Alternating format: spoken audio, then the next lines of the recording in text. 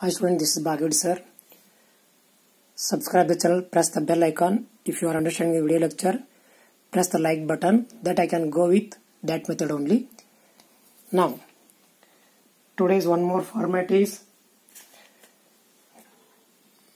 so everybody pause the video and note down this today's format by it afterwards i'll explain it with reason first you by it then i'll solve it with logic with rules of debit and credit.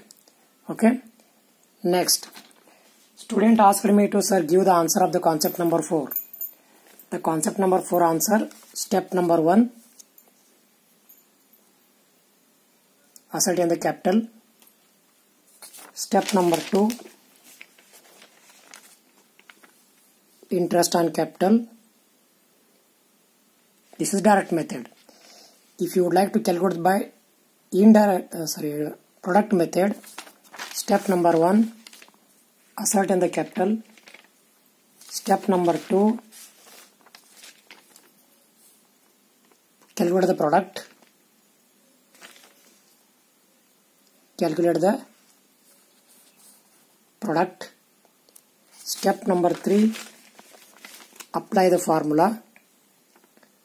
You'll get the answer okay or you can calculate the opening capital by buying the step but in my opinion you don't buy this because it's very difficult once you make the things here and there you'll get confused okay better from tomorrow onwards i'm going to teach you by screen recording as well as ppt sharing ನಾವು ಕನ್ನಡದಲ್ಲಿ ನೋಡೋಣ student ಇದನ್ನ video pause ಮಾಡಿ, ಮತ್ತೆ ಇದನ್ನು ಬರ್ಕೊಳ್ಳಿ. ಬರ್ಕೊಂಡು ಇದನ್ನು ಬ್ಯಾಟ್ ಮಾಡಿ. ಯಾಕಂದ್ರೆ ನಾನು next problem problems on profit and loss account ಇರೋದ್ರಿಂದ ಇವಾಗ ಇದನ್ನು ನೀವು ಬ್ಯಾಟ್ ಮಾಡಿರಿ. ನಾನು ಇದನ್ನು ನೀವು ಬ್ಯಾಟ್ ಮಾಡ್ದೇನೂ ಬಿಡಿಸ್ಬೋದು ಆ ಥರ ಟೆಕ್ನಿಕ್ ಹೇಳ್ತೀನಿ. ಬಟ್ ಯಾರು ಲಾಜಿಕ್ ಪ್ರಕಾರ ಹೋಗ್ತೀರಿ ಅಲ್ಲಿ ಚೆನ್ನಾಗಿರುತ್ತೆ. ಬೇಡಪ್ಪ ಅಂದರೆ ಬ್ಯಾಟ್ ಮಾಡ್ಬೋದು ಹೌದಾ? ಮತ್ತು ಎಲ್ಲ ಸ್ಟೂಡೆಂಟ್ ಹೇಳಿದರು ಸರ್ ಅದು ಕ್ವಶನನ್ನು ಇನ್ನೊಂದು ರಿವಿಷನ್ ಮಾಡಿ. ಕಾನ್ಸೆಪ್ಟ್ ನಂಬರ್ ಫೋರ್ ಸೊಲ್ಯೂಷನನ್ನು ಇದು ಕಾನ್ಸೆಪ್ಟ್ ನಂಬರ್ ಫೋರ್ ಕ್ವಶನ್ ಇತ್ತು. ಹೌದಾ? Page number one page number two concept number four question ಇತ್ತು. ಆಮೇಲೆ ನೀವು ಡೈರೆಕ್ಟ್ ಮೆಥಡ್ ಪ್ರಕಾರ ಬಿಡಿಸಿದ್ರೆ ಯಾವುದೇ ಇರಲಿ, ಇದಂತೂ ಸ್ಟೆಪ್ ನಂಬರ್ ಒನ್ ಇದ್ದೇ ಇರುತ್ತೆ ಓಪನಿಂಗ್ ಕ್ಯಾಪಿಟಲ್ ಕಂಡುಹಿಡಿಯೋದು ಆ ನಂತರ step number two interest on capital direct method ಇಲ್ಲಪ್ಪ ಅಂದರೆ ನೀವು ಪ್ರಾಡಕ್ಟ್ ಮೆಥಡ್ ಬಿಡಿಸೋದಿದ್ರೆ ಸ್ಟೆಪ್ ನಂಬರ್ ಒನ್ ಈ ಕ್ಯಾಪಿಟಲ್ ಕಂಡಿರಿ ಓಪನಿಂಗ್ ಕೆಪ್ಲ